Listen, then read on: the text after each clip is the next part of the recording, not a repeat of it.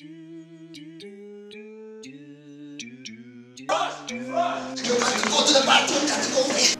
you later. Oh my God! Do not go in there. What the hell's going on here? I'm just uh, blowing up my kinball. The cohort premieres Sunday, May 13th.